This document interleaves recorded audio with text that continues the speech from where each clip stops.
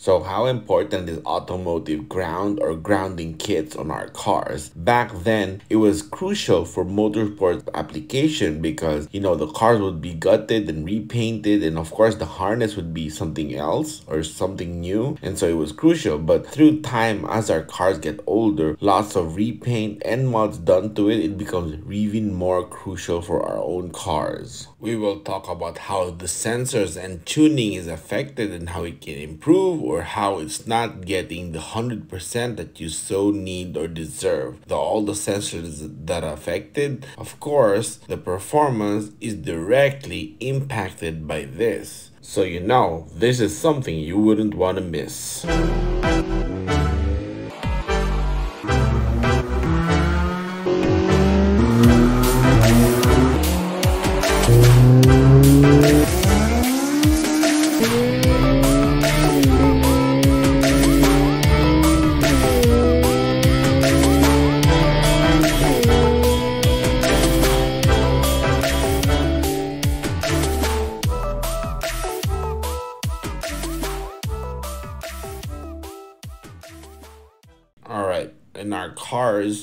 In the Honda, the sensors or engine sensors are mostly 0 to 5 volts. That includes the IACV, the TPS, the map sensor, and even the thermo switch on the thermostat for the cooling fan. So when you think about it, when you affect the ground of the whole car or the system, then the rest of the positives is inadequate. That includes the idle air control valve, IACV. So you know, you might break your IACV or idle would be off. It doesn't really have to be always just the tune or the parts. It could be your ground, right?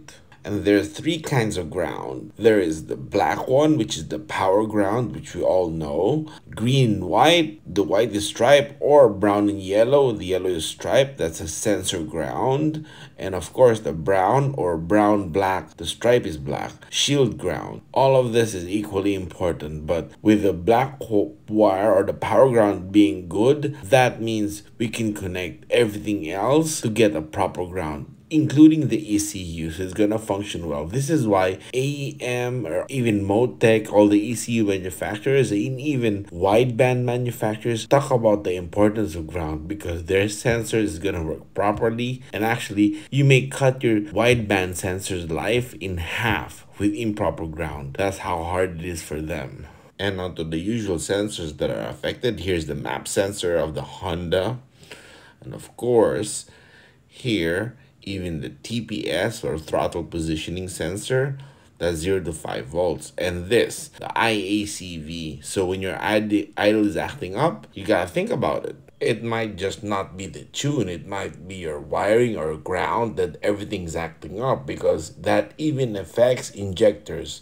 Because look at this. Here you go. Injector 1 2 3 and 4 and even the IACV has a constant positive because the ECU throws in ground signal. It doesn't throw in positive signal to activate it. So when you think about it, if, if it's a constant positive, if your ground quality is not good, that's getting far from 12 volts. It's probably just getting 80% of it, right? And that's what when I said earlier that it affects the tuning because suddenly with this inadequate wiring, you're going to suddenly have your duty cycle of the injectors or the injector duty cycle percentage going up and you'll start to experience you're running out of injectors and whatnot and this is why we've seen cars that need bigger injectors but the engine is just mild that's not because it's lacking fuel it's because of the wiring now let me show you a layman's version or layman's term with, this so to help you guys visualize and understand. So, so this is a 12 volt on your left, right? And of course on the right is the ground. So we all know, like our headlights, if you remove the ground, the 12 is to be gone too. It's not to work, right? So now imagine if your ground is just 80% in quality or 80%. Do you think 12 volts will be 100%? It's definitely just to be 80%, right? And that's 9.6 volts. Doesn't that sound familiar? And you know, with that much voltage or that lack of voltage, you're going to run out of injectors because your duty cycles will be up the roof. This is why you see a lot of single overhead cams because they keep going cheap on all the stuff. A 240cc injector is good for 200 to 210 horsepower. And we see them going with the Type R injectors. It's not making not even like 80% of that power. That's probably their wiring. Oh, and don't forget, your fuel pump is not exempted. It's uh, that's also 12 volts in power. If it lack of ground, you that's showing that's pretending your pump is already weak. So pump cost, injector cost isn't a 2000 pesos grounding kit from us a lot cheaper than that, right? And so if you're liking this video, hit the subscribe button and the bell. This way you get notified whenever we have some tech videos like this to share for you guys. So hey, let's go. And also, liking would help spread this video even more to a wider audience. So let's do that. And here's our grounding kit solution that we've showed you a while ago on the previous uh, video. Here it is installed on the batteries and it has its own positive terminal. This way you can do all the extra stuff that's needed, whatever may that may be, right? You can see here the ground. And here, let's look at the engine bay. Okay, the OEM grounding points are here. One is on the transmission, then the other is on the thermostat housing. That's the ground to the ECU. And of course, this one on the front clip that goes all the way to the valve cover. This way, hopefully the whole engine has good consistent ground.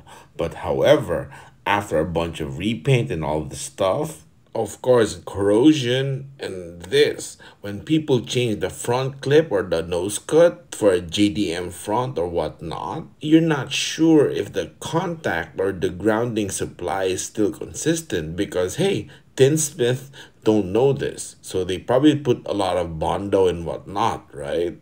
And here's one for the locals. If you ever wonder why suddenly you have to have an HID for the headlights and that the factory H4 beams no longer are bright enough? Well, actually, maybe they are. It's just that your car is not properly grounded, especially the front end, because hey, nobody's gonna admit that we've had a bunch of collisions, right? Or changed the front end or the nose cut. So think about that. So this area and this area may have different levels of ground compared to this part and totally different to the battery negative signal.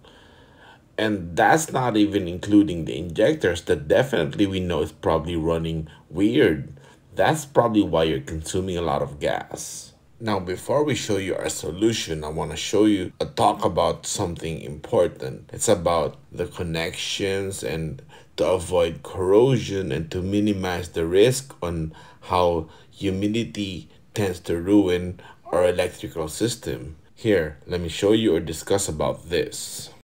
Onto the terminals or eyebolts, we try to minimize the third or third factor in the connection. It just has to be the copper wire and the crimping, the crimped eye bolt. A third factor would be to solder it, but the best connection would always be one on one. Of course, you can solder it if you want, but we try to minimize the extra stuff. This way, it becomes more consistent and less prone to humidity and corrosion. So here, you crimp the housing and the wire. This way it's strong and tough. Then we insulate it with a 13 millimeter diameter shrinkable tube and then over it a 14 millimeter. This way it's double seal. Now let's go back to this for a moment. Remember we talked about this earlier, but this is also one of the re reasons why whenever someone tells me they want their engine bay wire tucked, I cringe because come on, think about it.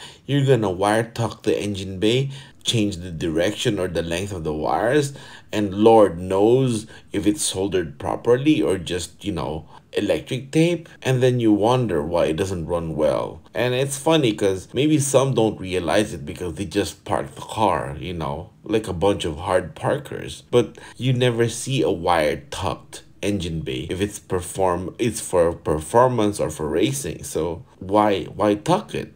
I mean, if we're running Rywire harness, I'd like people to see the good work and the excellent work Rywire did. I guess, you know, if the work is kind of ugly, might as well hide it, right? Oops, I didn't say that. Anyways, as we showed earlier, the OEM grounding points here, our grounding kit has four extra points from the negative terminal like here it also has its own positive terminal but that's for other stuff. Here the first one goes to the transmission ground area. This way the transmission ground and the front side or the front clip gets consistent ground. Second one goes to the thermostat housing so the ecu gets the same ground. Then the next one it goes to the alternator under the intake manifold into the alternator bolt. This way its charging is good because the ground is better.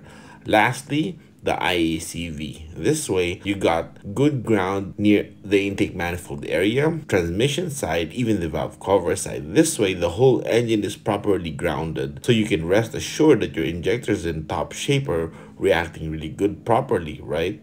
Like someone in the previous video, someone commented that he had a friend that had a grounding kit and he installed it and suddenly even his taillights were brighter, even his cluster gauge, which is true because when you think about it, our steel chassis, the corrosion adds more resistance to the ground. Therefore, it's like as if it has lesser ground. So as soon as you can bring it back to 100% proper, then everything else is gonna start working like it's new. That is also why my fully cammed D16A6 gets 15 or 14 15.5 kilometers to a liter in consumption. Even ECU later, Jasper's B20 VTEC that runs 12.5 gets 14 kilometers to a liter. And let me show you something really interesting.